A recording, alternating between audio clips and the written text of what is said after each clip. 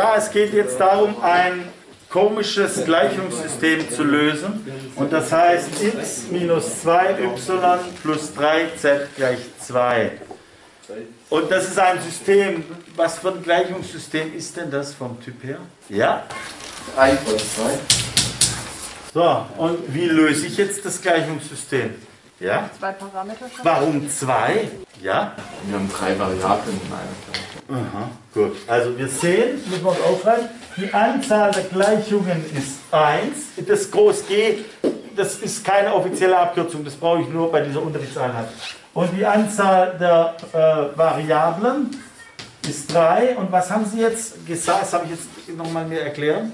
Ja? Wir haben eine Variable rausgefunden, haben jetzt zwei andere Parameter, um die Also wie viele Parameter brauche ich und wie rechne ich das aus hier in dem Fall? Ja? Zwei Parameter, Wie habe ich es gerechnet? weil wir nur noch eine relevante Gleichung haben. Und? Das ist eins wahrscheinlich. So, also. Okay, also das heißt, wir brauchen. Und welche nehmen wir?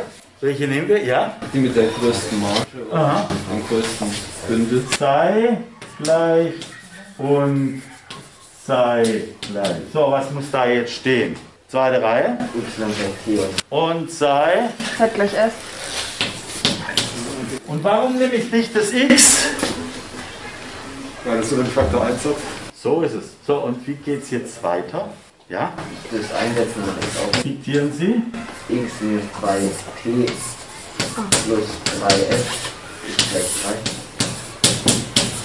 3. Äh, und, und jetzt? x ist gleich 2 plus 2t minus 3s.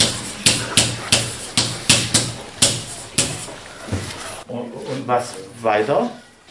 Ja? Jetzt kann ich die Lösungsmenge hinschreiben. Und das ist x, y, z Element r hoch 3.